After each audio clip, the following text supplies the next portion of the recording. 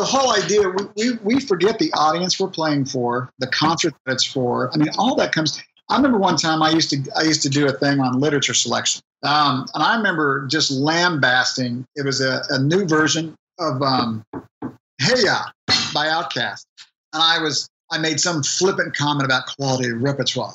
And, "Hey Ya," and this guy broached me at the end of the of the clinic, and he said, "Listen, I'm not going to yell at you or anything, but just I just want to tell you that tune changed my band around." He said, "Mike, I can get my kids to play anything." And we started playing "Hey Ya," and I was able to work things through that tune, and then I was able to expose them to other stuff. And I thought, okay.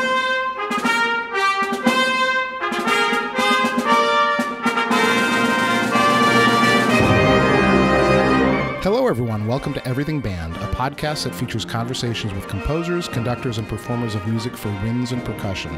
My name is Mark Connor. I'm a composer, and this is episode 36. My guest for this episode is Milt Allen.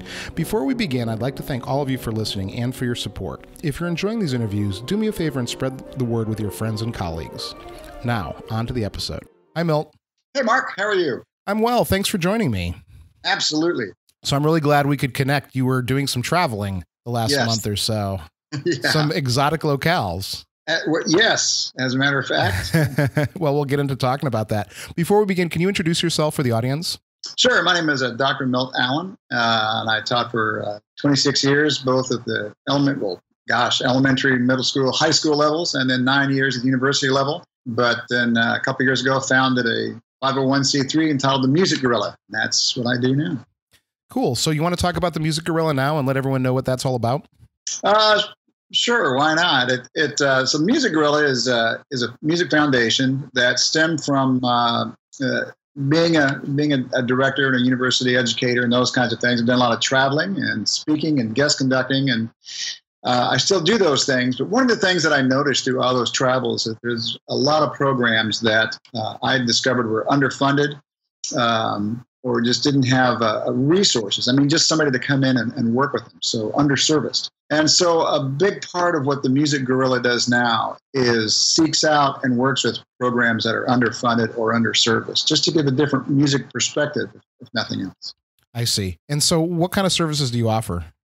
Well, I mean, there's all the, I'll, I'll say the traditional kinds, right? Um, I mean, there's of course coming in and rehearsing, uh, you know, the guest conducting, that kind of thing with groups. But beyond that, I also do cross-curricular things. I, I, I think it's interesting that as music educators, oftentimes we would go into schools and we'd only work with the musical groups. Well, you know, our society is kind of at war with the arts and with music, and I think one of the most important things that we can do is reach a wider audience with what we do. So, for example, when given the opportunity, I may go into a school, work with their uh, bands, possibly their orchestras, and then I'll do cross curriculum presentations. Um, for example, when I was just in Alaska, we did a whole two week thing on um, poetry and songwriting and created some original works.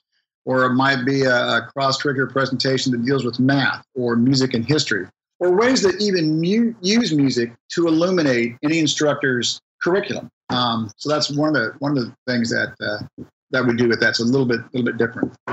I like that. I like that idea of finding your own niche, something that's a little bit different than what the normal services are offered. Yeah. And I think that's important. You know, in a way, you're kind of finding what your your special thing is that it differentiates you. Yeah, I mean, part of the whole of the whole thing is this idea of waging music, and the thing that's important to me is I I really have issue with this idea of highbrow music, lowbrow music, um, and I think we need to approach it as no-brow music, and I think we need to eliminate this stigma of one music is better than another. I think I think any student or, or, or any person in any organization, you know, we can't define for them what music does for them, but we can use certainly use it as a common language, and everybody speaks different languages. So um, part of what I do and part of where my interests are is a, is a wide variety of music. But to be able to go into any kind of situation and try to form a connection through music, through whatever genre, I think is is imperative because then a musical conversation can take place. Yeah, I think that I like that concept of no brow. The way I look at it is that a rising tide lifts all ships, and that we're all part of the same same art form, whether we're Taylor Swift or we're at the very tip of the avant-garde spear. We're still working towards a common goal. Well, it's yeah. I mean, it's it's fascinating to me that uh, you know, having grown up in a in, in a part of classical atmosphere, uh, d- doing you know what we do, why is it we struggle to get people to their concerts beyond our parents, but yet a rock concert is going to draw 50,000 people? I think there's validity to that. And I'm not talking just about appealing to the masses either, right? Because the people who are at those concerts love them, they enjoy them. And it doesn't matter if it's a rock concert or a string quartet concert. The idea is music is reaching people. And I think that there's, when we start putting up, you know, structures and frameworks that, that place a value a, a right or wrong on a music. Man, that's not what being a musician is about. You know, I think there's there's good and bad musics in any genre, but I think there's also a lot of things to learn from from studying different genres of music. Absolutely. You know, uh, and, and, just a, an aside to that too, Mark. You know, this idea of in the United States, we're very geared toward a couple things. One of those things is we we often like to define our musicians. Uh, take the educational process. You're a vocalist, you're an orchestral player, you're a band person. You know, that's we're one of the only places in the world that does that, to my knowledge. I mean, and but we're also great at the ensemble concept. But along with that is if you look at the way we teach music, it's very performance oriented, right? Always rehearsals for one performance. Um, or maybe marching band show that we spend thousands and thousands of dollars on, and then we have our competitive show and sometimes, and this will ruffle little feathers, we use the right bud, buzzwords to say that it's educational. You know, we've really got to be careful there. But the idea of, of a performance based curriculum versus what's wrong with participatory music. And I think it's something that we oftentimes overlook. People who want to participate in music just to play because of how it makes us feel, because of how it made any of us feel when we when we first started. I think it's kind of gotten lost in the in the trample, so to speak music should be something that's just valuable and and then the feeling that you get from being in it. I know as a young person that was a part of my identity. It gave me a place to be. And mm-hmm. it still gives me a place to be. I still wake up every morning with a community around me of musicians. Right. And so I think that's really valuable. I'm, I'm interested about this idea that you just mentioned a little bit ago, and i want to apply it to the band community. And I was speaking with someone about um, early band music and how in the 19th century and even in the early part of the 20th century, transcriptions of popular tunes, of popular opera arias, this was right. what the bands were playing, the Sousa marches. Um, do we run the risk in the band world of becoming too elitist? Oh, I think we've already, I think we're there. There is a problem with egos and kingdom building in, in our profession. You know, I, I remember at one time uh, in, the, in the early 2000s, there was you know a big push as an example for CBDNA to to go to Carnegie Hall and to have the CBDNA convention there. And the idea was we want to erase that orchestral paradigm of elitism and the fact that it was becoming uh, a historical archive. And the response wasn't, I think, what the university committee had hoped that it would be. Um, it wasn't the big show and, and coming out party, you know, kind of like it was. Um, now, that said, part of the of the role of our universities is to push the boundaries of what uh, you know the, the wind band medium can do especially now that we've seen such a decrease in our military bands which has been a, a terrible thing because they were kind of the, the, really the sacred keepers of the band flame but that that that mantle has now shifted to the universities. But but by and large i think that that during this whole time we've we've become elitist. We like to talk about our composers. We like to tar- we like to substantiate which pieces we think are the most important repertoire. And uh, again, I think all those things are important, but I think that they have to be taken within context. And I think sometimes we've done this at the alienation of other genres and other styles of, of music. It's interesting because, you know, the band world isn't just, it's not a monolithic thing. And, you know, the junior high bands play one type of music, community bands play another type of music, university bands play another type but I don't think it's. I think the band world still provides the place where new music is most vibrant. There's no question, and almost to an extreme. We're willing to play anything.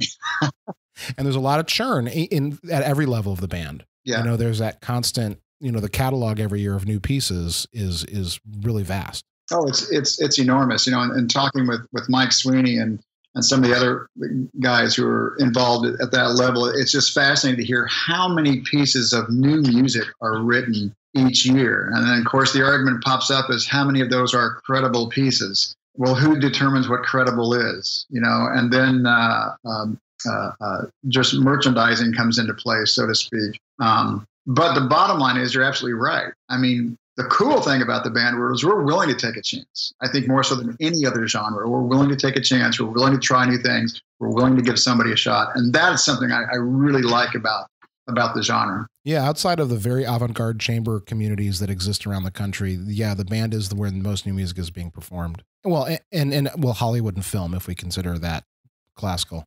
But um, it's interesting that you talk about that because there, there's like over a thousand pieces every year, new pieces released. You know, actually, well more than a thousand that come out every year. But when you take into account, you know, the major publishers who are not taking on new composers because that's not what it's about. Um, and the fact that you've you've got major, understandably, you've got you've got major companies that are able to push certain pieces. But what about that one composer who has that one piece or only has a couple pieces, but it's a great piece? Exposure. How do you how do you find out about that? Now, again, I'll, the internet's a great thing, and that's one of the ways we dig. But boy, there's there's lots of places where there's great music that on one hand is tougher to find. On the other hand, yay, we've got the internet, we've got word of mouth, and we've got you know Facebook, and we've got social media that we can communicate with each other on, which is what we need to do when we hear a piece that we like.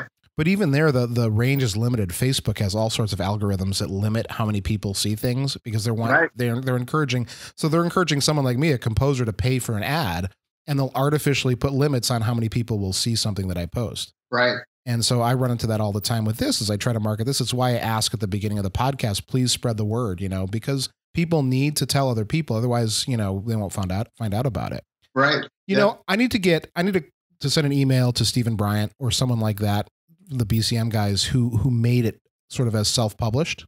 But yeah, I made a conscious decision when I started to, re- to write band music a few years ago to go with a publisher and to go with the commercial publication because I didn't think I could give myself that exposure. The BCM guys are old friends. I knew um, Newman and Steve and Jim Bonney were, were, were old buds way back. We hit it off back when they first started making the things, and Eric would come in. And, and the way that they had set that up, not to speak for them, but was very calculated. But Eric already was established. Yeah, sure. The core medium. And that was a big, big part of that. And they purposely chose to self publish to retain the rights, not mm-hmm. only artistically, but just in terms of, of financially. But what they traded for that was besides having Eric's help, was they they purposely tried to cultivate a cult of personality, something different, something new, something that was an alternative to what was to what was out there, and they did it at a time both uh, you know when social media was breaking um, and other things were happening. I mean, just the time was right that they were able to kind of parlay that. Now that said, it was still really, really hard for those guys to to do that. Oh yeah. But what sustained them was as they became even better composers and started getting their things played and networking. Um, I think that, that what, what the guys did is actually, in some ways, a great roadmap for aspiring composers mm-hmm. because there was no brass ring, there was no easy way. Um, but they would try to retain as much as they could and struggled with the complete ownership of their own music. Yeah. No, I love the way they did. And I love the way they went and they engaged on message boards and they had their forums. And, you know, it, to me, they made it very personal with everyone that they came across. Yep. I, yep. Yeah. I, I needed to, to, to get some, one of them on quickly. yeah. Um, yeah, it's an interesting thing. I was mentioning that, you know, when I first came back to this, I wasn't a band composer. I got my doctorate and I was going to write chamber music, write orchestral music. And I had written a band piece while I was at uh, a doctoral student and it sat in a drawer for about a decade. and I played it for a friend of mine, actually, Demondrae Thurman, the euphonium player. And he was like, Well, you know, I want to play this with Samford and you should send it to a publisher. And so I sent it to Walter Cummings at Grand Mesa. Mm-hmm. And it was published immediately after 10 years of just collecting dust. And I, I, feel like that's a really good piece. And I feel like it's getting more and more performances as my profile grows from being published through commercial publishers. And so I think there's um yeah, it's a really it's a really difficult question and it's one that I've grappled with over the past couple years. Like how much of it on my own and how much of it with help. And is the trade-off worth it or not? And I think every composer has to answer this question on their own. Yeah, and, and you know, it's I hate to say it, but you can't rule out what the ultimate goal is. You know, is it income? Because as you know, as a composer, when you're only making 10% royalties when you're going to a company, man, you got to write a lot of tunes. Yep, you sure do. Um, and this is another way that our that I think that our our industry has changed. And and again, I understand it. Um, But you know, I, I when I was younger, I still kind of remember a time when composers could write what they would want. But it's very different now because composers need to write a what's popular, but also the way these contracts read. You're going to write so many tunes at a certain grade level in certain keys because that's what we know that directors will buy. Now, that's understandable, but there's also that slippery slope of what a, what about a composer who writes something because they want to that may or may not appeal. Right. Of course, that's where commissions come in. You know, that's where if we truly give a composer, you know, free reign. Although the reality is, you know, when we when we commission a composer, it's usually because we like something that they wrote and we want it to kind of sound like that. Right. Exactly. but um, so again, it's it's an interesting it's an interesting and difficult difficult conundrum you know, for the yeah. composer. I don't know if there's there's a right answer. Everyone's got their own path. You know, I've chosen to subsidize my composing through teaching, and um, other people try to go on their own. And and I think if you can establish yourself and can be self published, then more power to you. But that's a Yeah. really tough row to hoe. Right, right, yeah, Um, and so I have nothing but respect for those who do that. And um, but you know what? I don't also discount what I do. I kind of like writing junior high band music. Mhm. I, it, I like it. I like I like the way it sounds, and I like the feeling that kids get from it, and I like the reactions that junior high kids have. I just yeah. Oh yeah, I'm unapologetic about it. yeah. No, it's great. It's you know, I think there's a real misnomer. I think the hardest thing in the world to do, and I haven't written much, but is and talking with my composer buddies, is writing for young bands. Oh man, to to to compose something that's really interesting and maintains the interest of a 14 year old. I mean, come on, man, that's not an easy task to do, or 12 year old, you know. Um, and and that rep, especially that grade one to grade three or grade two and a half, is so so so important. That that those learning kind of literature things that that hold a kid's interest. Yeah, no, and it's hard. It's it's hard to write it. I, I I feel comfortable in that range. Actually, I feel more comfortable writing a grade one than I do writing a grade five. Wow, and that's hard to do. You know, I, I like the restrictions because I've absor- I've sort of absorbed them into what I do, and so Ah. I've sort of my style now almost reflects that because I've Yeah. internalized those restrictions. Ah. And and somehow the writing a grade five, and I have one that I I'm planning to write. It's daunting to go back to that feeling of having every possibility open. It's like Stravinsky said, those restrictions open creativity Yeah. because when you're when you have every color on the palette, you don't really have anything. Well, but you know, the other side of that is if you walk through that forest enough, right, you're going to trust your own instincts. Sure, sure, of course. I, I, you know, and you're comfortable with with with the level that, you, that you're writing now, so it stands to reason. But I would wager if you spent time, I mean, that's kind of where the the wheelhouse was. Shoot, man, you know, it's just kind of like I remember talking to Steve Vai one time on an interview, the great guitarist, and I remember talking with Steve about just what he practices because I was curious when you're Steve Vai what he practice. Uh-huh. And, yeah. you know, he first of all he only practices the things that he does well, which I thought was an interesting response. Um, but the point was, it gets to the point where he has such command, like any instrument, has such command that there's absolutely no thinking involved. And I think to an extent, you know, maybe that's what what the composer shoots for at any level or any medium that they're writing for. You get to that point where the the the craftsmanship you, you can pursue pure artistry and then the craftsmanship follows easier because you're just used to that area that you're musically living in. hmm All right, this has really been interesting, Milt, but I'm afraid that we've got a little inside baseball here. and so um, let's kind of back up a little bit. Let's go back to the beginning of you and let's talk about your origin. So, what's your origin story?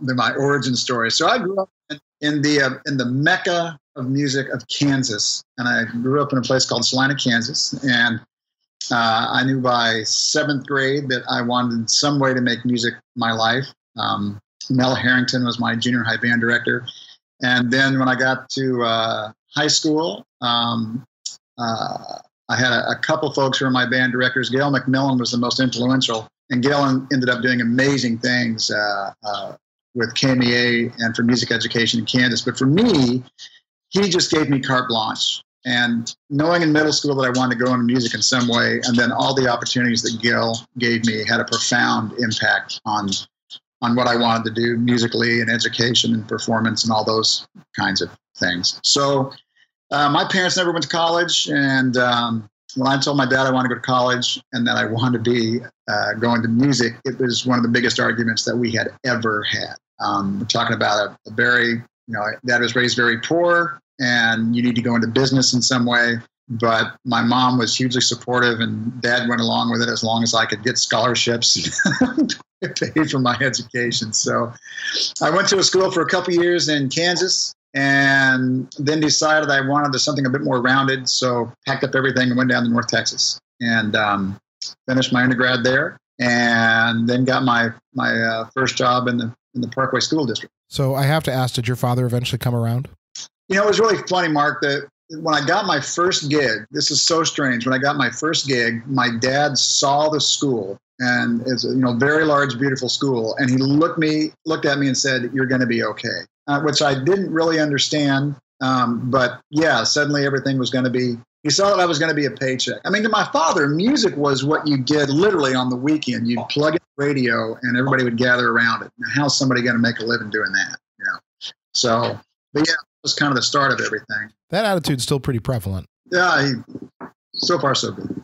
No, and I mean in society, we we still have this notion, and people still say it: the starving artist. Yeah, yeah, you know, it's and uh, I think the starving. Yeah, um, although I can say now I am with, this, this 501c3, literally. But uh-huh. yeah, and, and that's that's you know that was the the misconception I think that he dealt with. So those early experiences, is there anything from those early years that you're carrying with you today that are lessons that you still use when you teach? I think um, I think that the sense of, of connection with the person that you're that you're working with, um, as strange as that sounds. I mean, m- music first and foremost is not about a teacher student relationship, it's about a mentor relationship. And I think remembering that uh, has something that's always stayed with me in a, in a, larger sense. I mean, the fact that we're dealing with human beings um, and we're, we're, we're, dealing with something that to me is a very sacred art. Um, and then, of course, there's the pragmatic things of just you know watching how things were were structured, looking at how concepts were taught, uh, building systematically, establishing a foundation um, and and really learning how things work at that point. And those those things really struck me early. And again, uh, let alone just the power that music had. Um, but those were, were things that that set me on certain paths from from there on out. And also just a thirst to look at things a different way. Um, why do we do things that way? I mean, why does it work? Or how, why do people respond to music like they do, or a teaching technique like they do? Yeah, it's interesting because I'm thinking about what you're doing with Music Guerrilla, and I'm thinking about that comment you just made. And then I think about our Western culture and the way we've created the school system that sort of different than we've learned music for centuries. We've suddenly changed it now. And I'm just wondering if you have any sort of this is a very vague question. I know I'm throwing out this sort of very nebulous kind of concept, but if you have thoughts about how we can sort of heal that and get back to a more personal relationship, I guess, in teaching music. Yeah, uh, and I think that's a real trick because one of the things that I've seen more and more when I go out, and especially I've seen this when I've when I've gone in to conduct some honor groups, is that there seems to be a, a predisposition, a preconception about what catchphrases the, the conductor says or how they approach the group, and this this kind of group mentality. But I, I think first and foremost, I think we have to remain in touch with why we got into music in the first place. And I think that that's a lot harder said than or a lot harder done than said because you know one thing that was ex- extremely liberating for me is actually when i left the paradigm of university teaching i walked away from that just that whole thing because i no longer had to drink everybody's kool-aid and it was interesting because when you step back and away from from those restraints and really look at what you believe in and really think about why you got into music you realize that maybe somewhere you strayed and i think when we're dealing with our students now when we're dealing with our ensemble members now I think we really need to remember first and foremost what it is about music that, that put us in front of those people there. That's the, that's the first thing. I think we need to understand that everyone is going to bring their own concepts and approaches to how they're going to play. And all those are welcome because that's what makes every single group unique. That's why when our seniors leave, you know, our high school band will never be the same. Well, no, it won't be, but you're going to have these cool experiences that these freshmen have coming in that's going to make it, you know, that unique. Um, in our educational environment, I think we always need to remember the old adage that our students don't ter- care how much you know until they know how much you care. And I think the teaching that we do off of the podium is every bit as important um, on the podium. But remembering that we're dealing with not robots, but but humans on the podium. Yeah, no, I think that's true. Whether it's you're on the podium or in a classroom, you know, I see that too. You know, I spend lots of time in my music theory and oral skills classes just talking about life, answering their questions, just dealing with things that don't relate to music theory. Because there's so much more about being a college student and being a musician than just those notes and just those drills. And it doesn't mean that we discount standard. And there's right. a misconception. Right. You know, we, we still have our standards that we want our students to aspire to. But you know, part of our job in an educational environment, in my opinion, is is very is very holistic. And I think part of what we're doing is modeling what it is to be a human, what it is to be a musician. Even if that person's going to go into basket weaving or hamster tossing, they can still see how we approach life and approach people as humans. And I think in in in this day and age where there's an even more disconnect because of social media and electronic media. I think those relationships are super important. And those are the ones that are based, that are the basis of making music. I remember I was jogging one time with Libby Larsen um, when I had her at Eastern, and we got a conversation about the value of the ensemble in the university or the school setting. And to me, one of the most important and coolest things about the ensemble in those settings is is a forced vulnerable, a forced vulnerability. Um, we have to be vulnerable to be an ensemble. There has to be given give and take. Now, I, I realize, and I don't want to sound like I'm making that the more important thing than the, than the beauty of music itself, because I, I have an issue with all of the secondary things sometimes that we try to substantiate music with. We need to substantiate music because it's music. But to be a musician is to be vulnerable, and it's to be vulnerable in an ensemble to other people, to other ideas, to other nuance, to other phrases, to other musics um, which gets back at the heart of relationships and and the and the basis of teaching as well as making music. Yeah, that's really great, Milt. All right, Milt. So, can you tell the listeners about your career as a band director? Where what what stops did you make, and what were your programs like at those stops? Um, sure. So, um, had the undergrad, got out of North Texas, and uh, a school district had called and said that North Texas to my advisor and said, "We're looking for somebody with experience that's a brass player. And he said, Well, I got this student that's going to be graduating that doesn't have any formal experience, has done lots of clinics and stuff and drum corps and things, and is a woodwind player, but you should take a look at him. And so that's how I ended up getting the gig at, at Parkway South High School. And Parkway South High School at that time was a school of about 2,000, and they had one band, and it was, I think, 50 or 60. And um, so it was a rebuilding program. And um, so I jumped up there and was you know, thought I knew it all and immediately rubbed lots of feathers wrong. Here's this, you know, guy who got just graduated from from college and gets what could be a retirement gig, right? Um, so I jumped up there and uh, was actually very fortunate. We we started with a smaller program, and by the time uh, I left there, we had, gosh, uh, uh a couple concert bands, solid concert bands, a really fine top band, I can't remember the numbers. Um, we got our jazz band into the curriculum. Uh, we had some after school things going. I mean, the, the program really became vibrant. In fact, uh, Chris Becker is still at Parkway South, and Chris does a marvelous job. Um, and Chris had come there as, uh, as an associate director when I was there. So I went from there. I went and got a master's, came back, and um, kind of a, a, weird story. When I came back, uh, I, I, want, I had a chance to get Fred Fennell in for uh, for a week uh, residency, right? And it was going to cost $2,000 to get Fred Fennell at my high school for a week. And the principal at the time wouldn't support it. However, the principal would give several thousand more than that toward the marching band. And being young and stupid, I voiced my very definite opinion on that. And realized after, uh, and this is just before I left for my master's and came back, that you know, probably we need to part ways. So what I did is became a fixer for a couple years and kind of helped some of the elementary programs and things. And then I thought, well, I'm gonna get away from all the politics. So I went to this small school district, Orchard Farm School District, which is in St. Charles County, right on the river. Very poor school district, uh, but had a wonderful administration. And for me, professionally, personally, spiritually, it was a low point of, of my career. And two or three years into that, I can't even remember now, um, I had a student that was murdered by another student. And I quit teaching because I felt that uh, I, I, just couldn't be a part of an accessory. I couldn't believe that I had, you know, was part of a school that, in my mind, had contributed to to this seventh grade clarinet player losing her life. And the reason for that is we had had meetings about her killer. who was also a 16 year old who I saw in detention all the time. And um, anyway, so I left teaching for, for uh, uh, I thought forever. I was done. Um, when I came back, I, I, had been doing some clinics and things when I was at Parkway South. I started doing some guest conducting in clinics and that kind of stuff.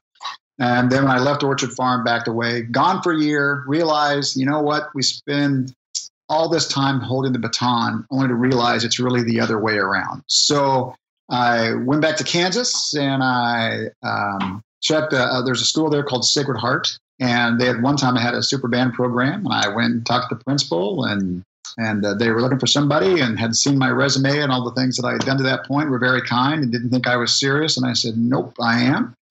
Um, I'm a racehorse. I don't give pony rides. I'd love to build a program." So I went in there. I had seven kids um, in the high school, and um, the high school was about 110, and the junior high was about I think 80. And we started with uh, a little over 20 in the junior high and seven in the high school. Uh, and then when I left, I think four or five years later, when I got the call from OSU, um, our high school band was up to 72, and our uh, junior high band was, I think, up to 72. Uh, we had an active commissioning series. We had a guest composer uh, program. We brought people in. Um, we did all kinds of performances. Uh, started the jazz program, started the concert program, had a parade band happening, I mean, just all kinds of cool stuff. And again, was doing more guest conducting and clinicking and all that kind of stuff. Um, got the call from Ohio State. Oh, and I should mention back when I was at, uh, uh, uh, this was a formative thing for me. When I was at Parkway South, I had gotten involved at that time, was trying to do conductor symposiums um, because I thought I was going to be the world's greatest, you know, next world's greatest youngest conductor. Stupid ego thing. And but one of the things I got into was was really earth or, or a huge change for me. Calgary, University of Calgary had the Calgary Conducting Diploma program at that time. And what they would do is three weeks where basically you didn't slept, didn't sleep, and they pulled in people like Fred Fennell and Tim Reynish and Frank Battisti and Craig Kirchhoff. And you had access to these people for a week at a time. And that was extremely uh, an influential time to me to work with those minds and to pick their brains. Um, so I was very fortunate in being able to work with with those people, and some of those relationships maintained even even later on. Um, one of the coolest things that Fred Fennell ever said to me was, you know, I think Percy would have liked you. I'm not quite sure how to interpret that totally, but I took it as a compliment. So went to Ohio State and uh, got the doctorate there and did some more university teaching in what little spare time I had at a couple universities that were around there doing some sabbatical fill-ins. And then got the job at Eastern Illinois. When I went to Eastern Illinois, it was in shambles. Um, there was one band, and the marching band was the absolute worst marching band that I had ever, collegiate band that I had ever seen in my life. And um, when I left four or five years later, at one point, we had gone from one band to four concert bands we got Barry in there. Our, our athletic bands were rocking and rolling, and Barry was also doing a great job with our, our second band, our symphonic band. Um, we had a guest composer program, a guest music educator program, an active commissioning series, middle school honor band, high school honor band. I mean, we had all this stuff just firing, and then they started to dismantle the program because they had gotten rid of the department chair. Um, and that was at about the time that Ohio State called. So by then I was doing things for for Hal Leonard and also for for Jupiter Instruments. Um, jumped over to got the doctorate again. I had come back. I was at Eastern. Sorry, and then I got another call uh, from Ohio State asking if I would fill in as the visiting associate director of bands. Um, so while at Ohio State, I uh, was a part of creating the the, the fourth audition band, the uh, Collegiate Winds there, and also I instituted the middle school honor band program that they now enjoy. Wow. Okay. So that there's a lot there to talk about. Um, if you don't, if you don't mind, I'm going to rewind a little bit and go no, back. please, please. Basically, it boils down to this. I've some would say that I've kind of been to the top of the mountain, right? I mean, you know, here I was potentially at at, a, at that level, and I, I can honestly say I look at that and thought mm, this isn't what I thought it was going to be. The only reason I ever got the doctorate mark was because I felt compelled to get it, and that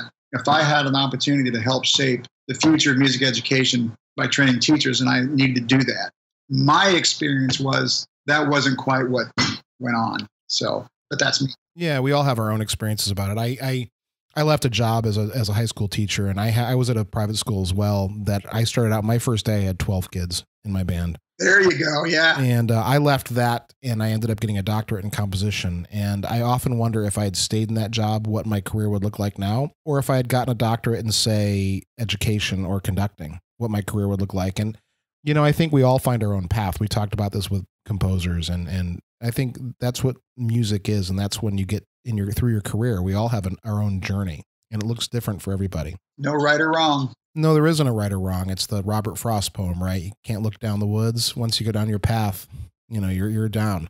That's right. Yeah, my father used to always tell me you can't you you never make a bad decision because you can't relive your decisions. Right.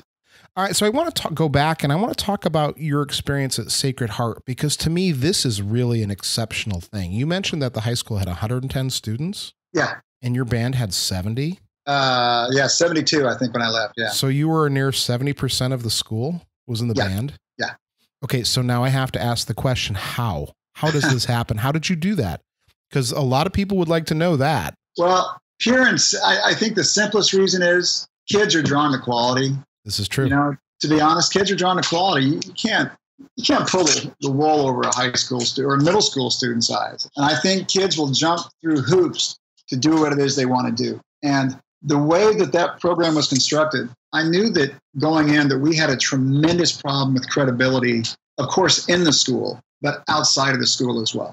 I knew to change the perception within the school was going to take a little bit longer. So, what I did first was work on changing our perception and thereby our support from the community. And so, what I initially did was try to create experiences that were what I would call real music experiences, where our students were, were having to play in front of people that were not their parents, but were regular crowds or regular people that also combined exposure in the community so that they would see that there's a change happening at our school, but also raising the quality and the expectation of, of the music making that the students were doing. You know, the first thing I did was had a very honest conversation with the students. And I still remember it cracked me up. I remember I'm looking at these seven students and I said, okay, so um, uh, how do you guys think that the, that the school views you guys? How do you, how do you think that they view your music making and how do they view the band? And they all looked at each other, and one kid looks at me straight in the eye and says, Well, they think we suck. And I said, Okay, okay, you know, I'm trying to be positive. No, no problem. Okay, now, but but what do you guys think? What do you guys think about your band program? And they looked at each other, and the kid looks back at me and says, Well, we suck. and I thought that was so awesome because we didn't have to deal with the fact that they had the wrong expectations, right? Mm-hmm. So the two things that were awesome right off the bat were they had a pretty real sense about where they were. And the second thing was they were still there. They were still there. I had come in a month before I started, and we did a big talk with any interested parents or students about the program. And I analyzed, I had PowerPoint. Here's what the program is. Here's what I'm proposing. Here's what's going to take to reach our goals. And for the most of the parents who saw that, they wanted their kids to be in, but the kids didn't want to work that. Um, so again, we I set a musical standard early, and then created these opportunities that essentially forced my kids to be performers and learn what that's about, but also instilling in them a sense of of quality of their music making. Now, I'm saying music making, geez, Mark, the first thing we did was work on four 30 second timeouts. That's what we worked on. And then I supported those with a keyboard drum machine. That's how we started. And it took us forever to make those four 30 second timeouts and the school fight song sound decent. But once we could do that, and once we could play a really great rendition of the Star Spangled Banner, man, that that got us out. That's what got us going. And I had established a musical standard. Yeah. So you you basically what you're saying is you set up a situation where they could be successful, Absolutely. right? Whatever that was. Yeah. Right. You know, I I had a I was really blessed when among the 12 students I had, one of them was a, sa- a junior saxophone player.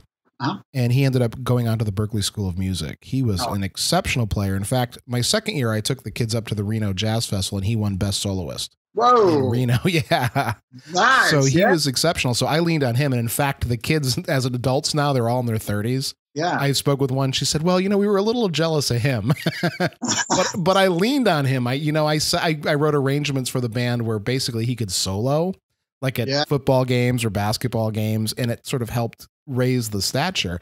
And I love that that idea of just doing something of quality to attract more quality. Yeah, and, and the thing is, once you know the, the beginning of a change of paradigms like that, one of the things that's so important early on is well, first of all, I disagree when they say like you take over a program, and some folks will say, well, you know, it's going to take you know four years. You got to get those kids out of there before. Right. right. I think that's a bunch of crap. If you don't establish your expectation in that first year, you're sunk. You're sunk. And I think uh, establishing musically what I wanted, and also in terms of just the expectations of, of in this case, the band, that was a, a huge moment and a huge time because we knew from the get go here's what the expectation is here's what we want to happen. And that was that was crucial in making all that come alive. Mm-hmm. so let me ask you let's say you're a young teacher or maybe maybe a mid-career teacher and you take over at a an established program and you know what you need to do and you know what the kids need to do. How do you deal with the repercussions that are going to come from students? It's going to happen. Um, i think it's important if you go into a new program that you understand as much about the community about the student and the history of the community, about the student population, about the history of that band program is absolutely possible. And I spent a lot of time doing that because I, I want to know the type of kids and the community that I was dealing with. I think you have to understand too that there's, I hate to say it, but there's going to be some casualties when there's a paradigm shift. It's just going to happen. You're always going to have students who are going to always be loyal to that old director and they're just not going to see it any other way. Um, but the, the, the thing is, we have to establish our standard and we can be supportive of kids um, and encourage kids to be a part of it, have our door open and talk to them. But we can't be afraid at, a, again a paradigm shift of a new program or when we're in a new program to make that make that change. Um, I also think it's important to talk to parents, let them know what the discussion is about beforehand. Let your administration know everything that I did, for example, at Sacred Heart, I started with talking to my administration. I'm thinking about doing this. I'm thinking about going this direction. What do you think? And then I would talk to my music boosters. Say, here's what I'm looking at. Here's, I mean, so that that that safety net of administration, parents, and students, just like we should be doing in our classrooms, was established. So then everybody was on board with knowing that the direction that we were headed. Now, I think we have to remember too that especially with our with our music boosters and even sometimes our administration we're in charge of the musical vision and the music curriculum. We make the educational decisions. Our boosters do not. Our boosters support the educational direction. They don't set it. But we need to make sure that we include those folks in the conversation um, it's hard you know that first job is hard and learning these things you know you just have to be tough yeah. I had a, a, my college music education professor had these these sayings that he gave us all. And one of the things he said is you have to be able to take it. You have to love the students enough to take it. And there are those moments, you know as well as I do, where the students they'll give it to you.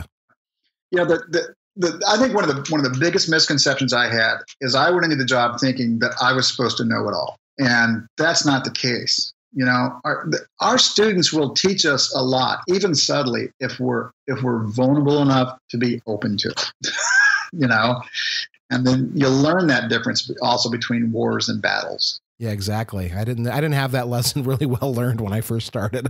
Oh man i didn't. I didn't. Gee. I had a lot i had a lot of battles that i, I thought were the hill worth dying on and boy in retrospect they should have just let it go.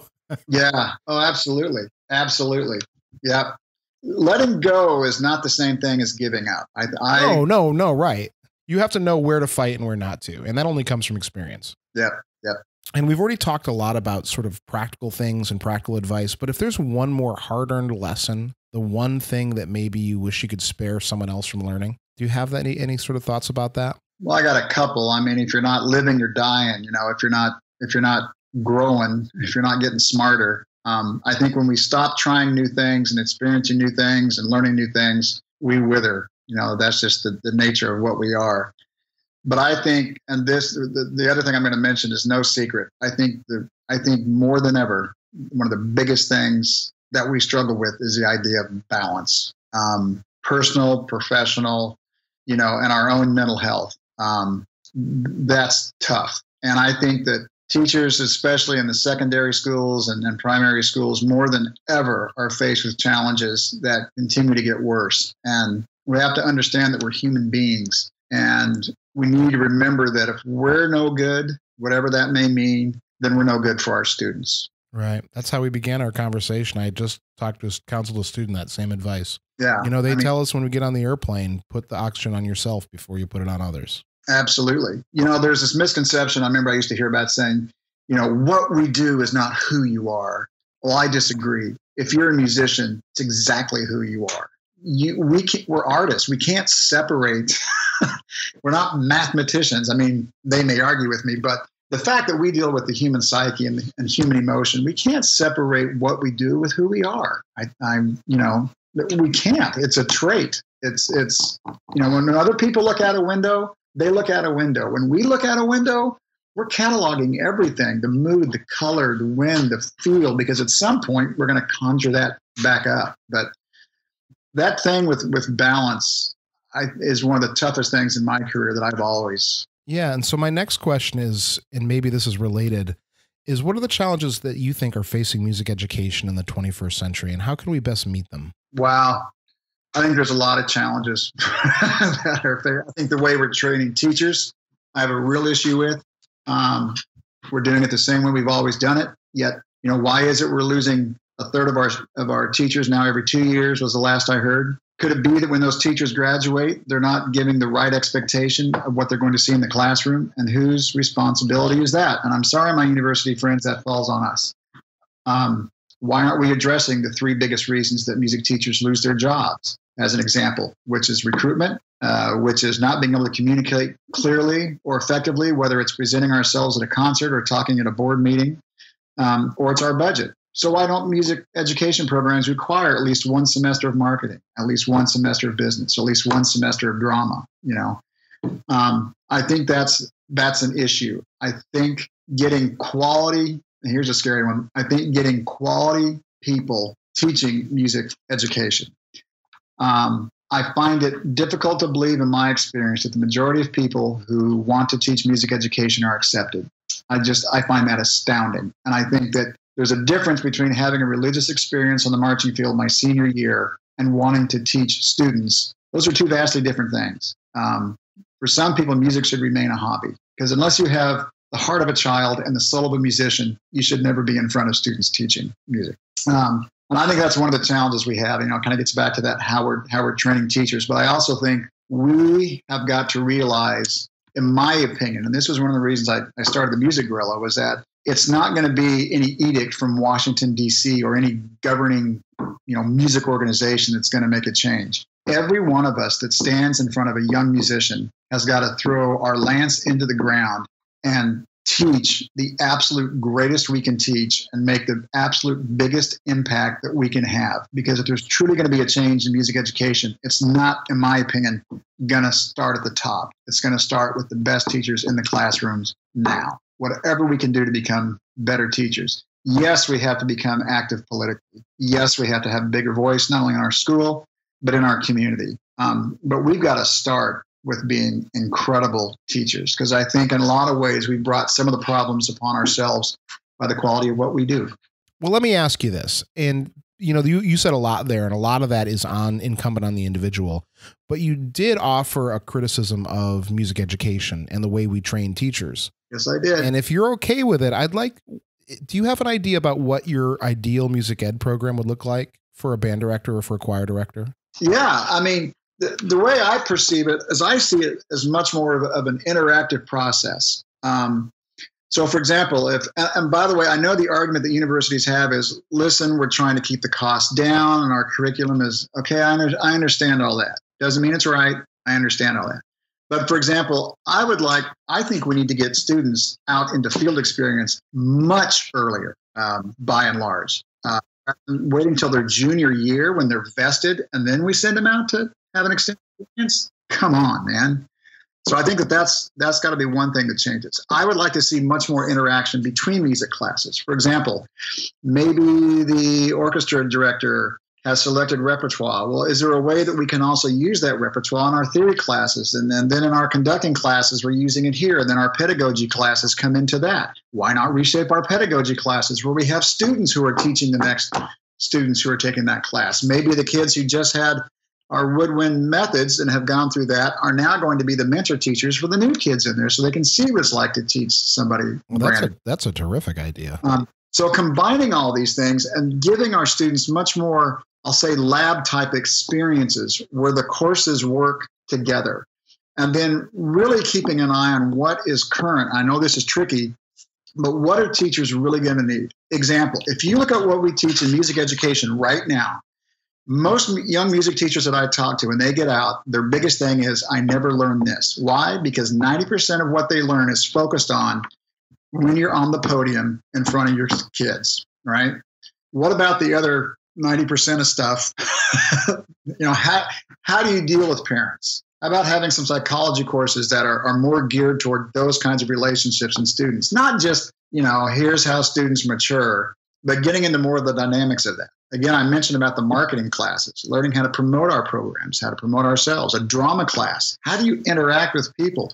One of the things that drives me nuts is when I see conductors who just don't know really how to present themselves to an audience. And, and that does such a discredit to the ensemble right off the bat. And the fact that, well, that's just the music teacher, man, that's not an excuse. You know, that that's our pulpit that we've got to do. So, in, in a nutshell, I think that I would like to see a way to make classes much more interactive with each other that create situations where our students are mentors to each other and are getting those teaching experiences early that require much more in the field of getting our students out. And here's a scary one. How about we how about we quit using great music programs to place our student teachers in? Let me clarify that. No, I think I understand, but go ahead. Yeah. The majority of programs in our country are, are high schools, 400 students or less, just to use an example. The job that most students are going to get when they graduate, as you well know, is going to be in a school that is 400 students in the high school total population or less. And you're either going to be replacing somebody that was fired or somebody that retired. It's difficult, and I understand we want to show our, our, our, our young teachers what they can do. But when when we do that and they graduate and they go out and suddenly they've got a band of 20 and they're teaching a choir of 40 and they're doing general music and they're teaching something else have we really equipped them well enough in a in a in a clinic situation where they know how to do that um, i think it's more important that we teach our students where to find the resources to be creative to succeed rather than giving them templates if that makes sense. Yeah, no, it makes perfect sense. Which kind of, to me, kind of feeds in.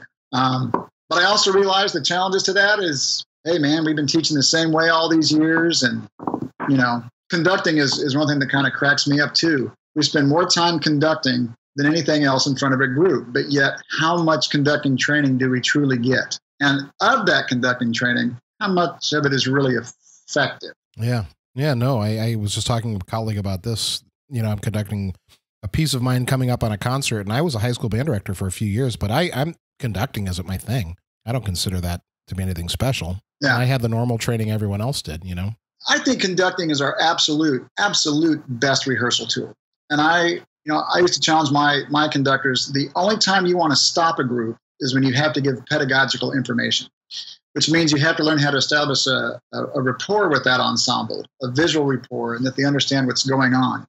But also, when I'm, when I'm saying conducting, I'm talking beyond the physical. I mean, really understanding what's going on in that score and what you want to to pull from in any given rehearsal, which also you know establishes your your lesson plan. Now, the now the artistic decisions that you're going to make at a higher level are going to be much different, and and of course, chances are with the players. But I think the approach theoretically is the same. Um, I was just in Zambia doing a workshop in Lusaka, and it was kind of funny because one of the things that, that they brought up was they wanted to do some conducting. So I started getting into explaining conducting, and the, and you know, there's the physical part of it, there's the research part of it, and there's the personal part of it. And as we started to get into this, they were kind of astounded to find out, oh, it's not just floor door, window, ceiling. You know, there's score analysis involved, and then there's you know informed intuition and there's looking at possible problem areas and there's understanding harmonically why is a composer doing this and i mean all these different kinds of things and i think that those those come to bear at at, at any level no, I would agree 100%. All those other things are more important than the actual physical. I mean, I've seen conductors who were amazing with the baton, and I've seen conductors who just beat time who can get the same out of the group if they're effective with how they're teaching the music. Well, you know, uh, uh, a galvanizing time in my career, I was selected as a as a, a conducting fellow for the Eastman Wind Ensemble's 40th anniversary. And so I'm, I'll never forget this. On the stage was Fred Fennell, and E. Clyde Roller, who nobody knows because he followed Fred Fennell, and then Don Hunsberger. You never want to be the guy who follows the legend. You want to be the guy who follows the guy who follows the legend or the person. That's, right, and that's why they waited on Hunsberger. But um, I, I, won't bore you with the whole story because the whole thing ended up pretty humorous. But the, the gist of the situation was, you know, I practiced, I, I knew everything in that score, every right, every note, every dynamic, every you know thing. And at that time, Eastman was just they were the group. And I remember standing in front of them realizing, oh my God, they can play all the right notes and all the right dynamics and all the articulations and everything else. Mm. And that's when it truly struck me of what yeah. else do I have to bring to the equation. But yeah. the kick is even if we approach our young groups with that philosophy, right? What else are we going to bring to it? That has a way of bringing everything else, the import of everything else up this is why we have to have the right notes. This is why these things fall in place because this helps create this higher communication that we're after and what we want the audience to experience. Yeah, you know, you're right. So, how do we get better at conducting? Let's say we're in our job, we're teaching, we've been there a few years, and we're, we're away from the university. How do you get better? One of the ways is, is to try to watch. That's one of the easiest ways. I mean, you know, get online. Don't look at don't look at videos of people conducting performances. Look up rehearsals look at how they respond in rehearsal. Um, there's a myriad of textbooks that are out there. There's always conducting symposiums somewhere.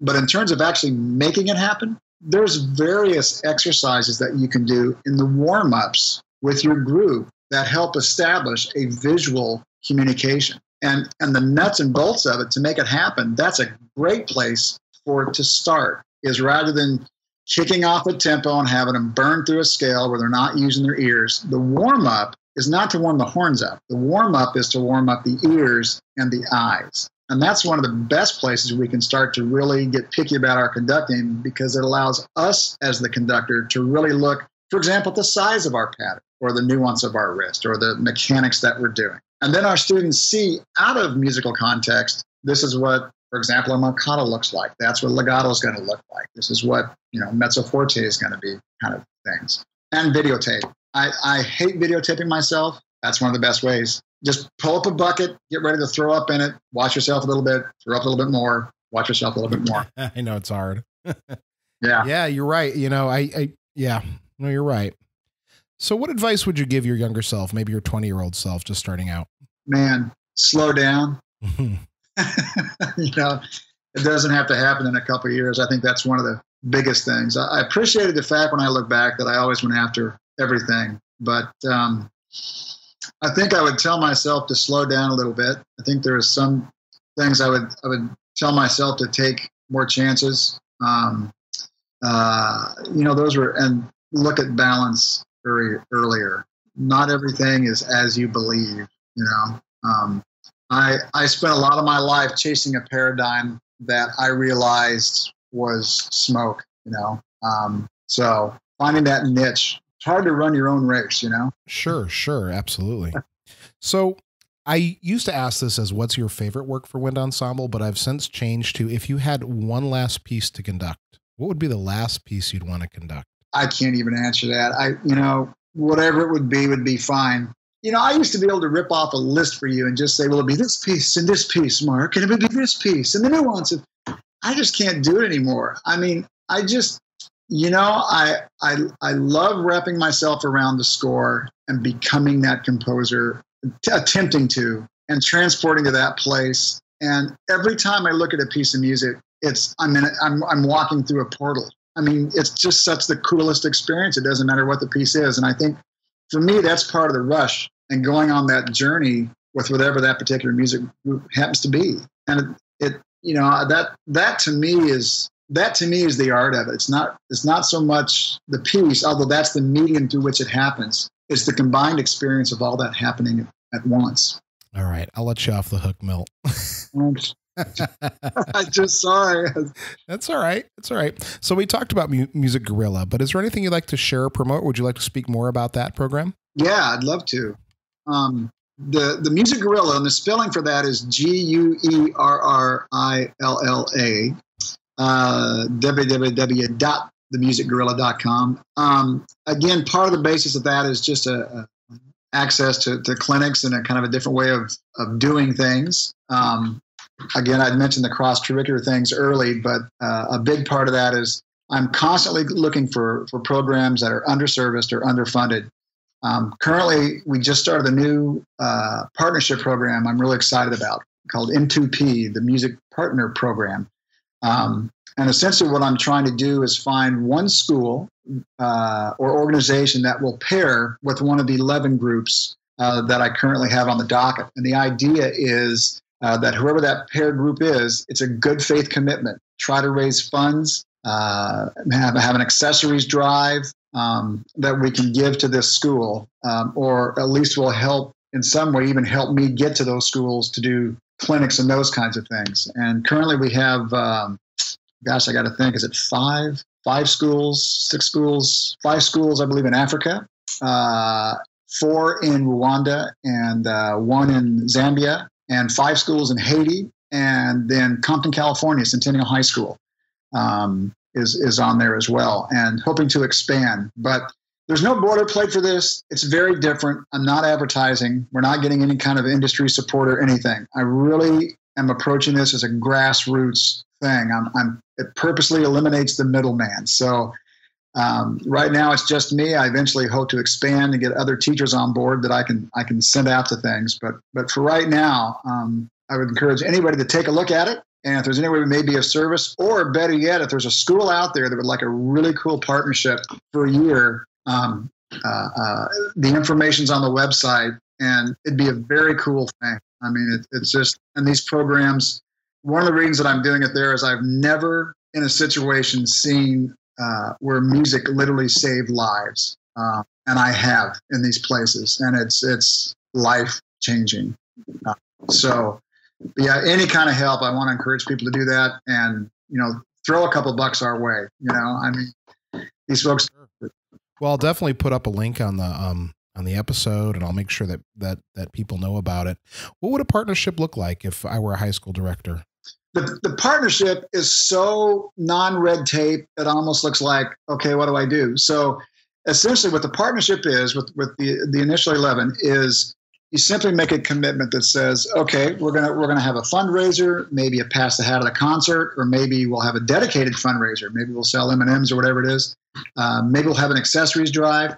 And essentially, that school will work through me in getting those things to that that school. Now, the reason we're using the Music Guerrilla as a kind of a funnel for this, rather than direct contact, um, when you're dealing with some programs, you can get into some interesting dynamics. And these are programs that I know, and it just works a little bit better if you know we kind of work through the Music Guerrilla Foundation, which then works with these groups also, depending on the school, there's specific needs. Um, for example, in coming back from uh, Lusaka, there's there's certain educational needs. I mean, just some some literature and some books and things that specifically I know they need.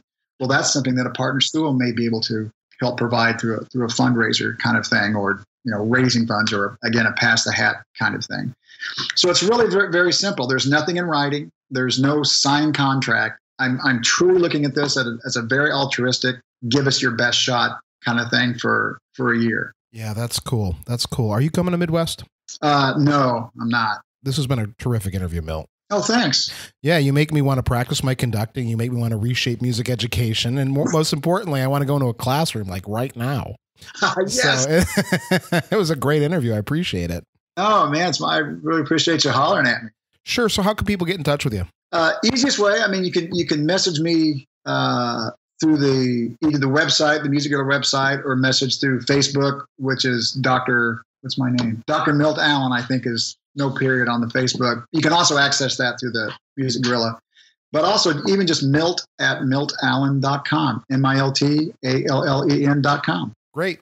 Well, thanks so much, Milt.